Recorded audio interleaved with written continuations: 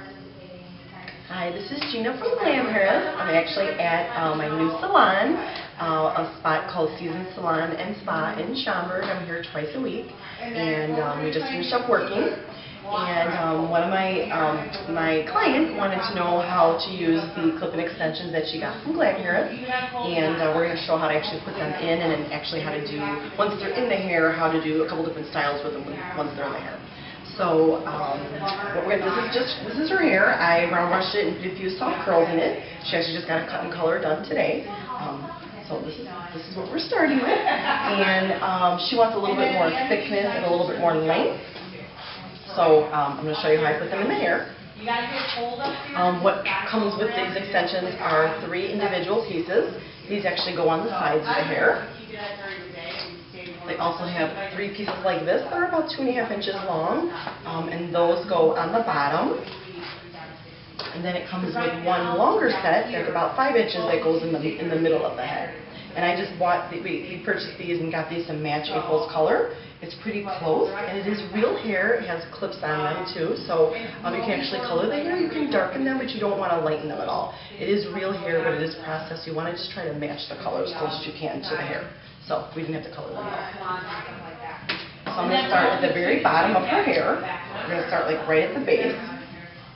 Yeah, it's all over. Oh, so right in the nape area, we're going to open up the, the clips. We just open very simply like this. Open very simply like this. And just going to clip them in the very bottom of her hair. With his picture, because he, he is holding people up at gunpoint. So it's really secure. How's that feel, Nice and light. And then we're going to drop the hair. See how that color matches pretty well? So I'm going to use my clip again.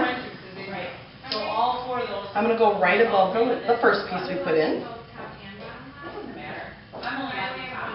Try to take a pretty neat uh, section. You can use the uh, Wonder Comb, which I love, um, to section it to make it like really neat if you want. Or you can use your fingers, or you can use the end of the clip. I'm going to use my second piece and unclip it. I'm going to clip it right above the other one. Call for a police escort out. Yeah, you always. Every. Yeah. And then we have cleaning service. How's that feel? Nice. Okay, so they're in there pretty secure. Um, I already washed these and let them air dry and put a soft film extensions already. Um, if it doesn't feel secure, what you could actually do is put a couple bobby pins horizontally just to secure it a little bit more. Um, I use these on a lot of clients that are actually um, getting married, and I don't really put the bobby pins in ever on anybody, but if they don't feel secure to you, you can actually put the bobby pins in and just overlap them right on top of the extension. Of course, the bobby pin that matches the hair color. And we're going to drop the hair. It's adding a little bit more thickness. We're going to go up one more section. I'm going to use the tip of her ears as a point of reference. And the thing. Um, if we just, if you. Just make this section a little bit neater. Let's get the hair out of the way. It's really important to have a really neat, clean section. You can also put a little bit of hairspray right there if you want, um, if the hair feels too soft. Uh, my client just got her color done, so um, it does feel a little bit more rough, and I did use a root lifter on her hair, so that's another reason why it's not too soft. I'm going to use the longer piece. You don't have to use all the pieces at all. Like if you don't want that much thick or that much thickness or length, um, you don't have to use all of them. I mean, there are some people that are coming, on of coming. Just clip them in just like that. It's pretty simple, it's pretty easy, they're really comfortable. A lot of my clients wear them like all night long. Okay, they feel okay? Great. Do,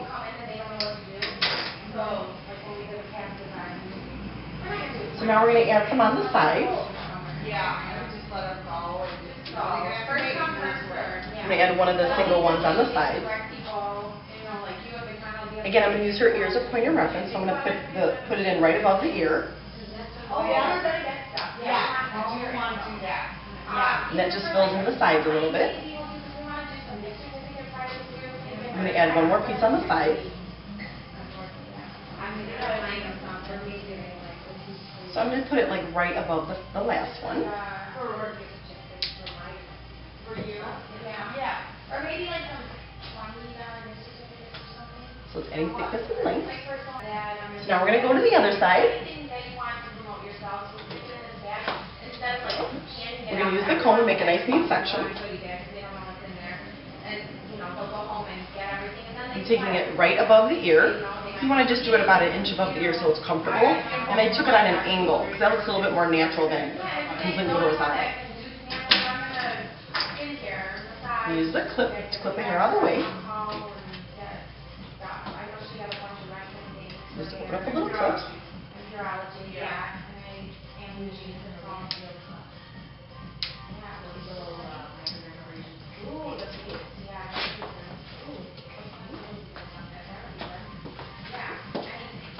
That's her hair. She's, she just wanted to wear it down. Could spray a little bit more and She's got a soft curl in it, but they could be straightened naturally, or you could do the curl in it where you wrap the hair um, around the curling iron. So this is a big, soft, soft curl.